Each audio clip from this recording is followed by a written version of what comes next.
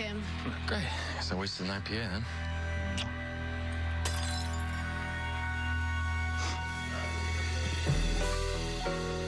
Hot and hot and so hot and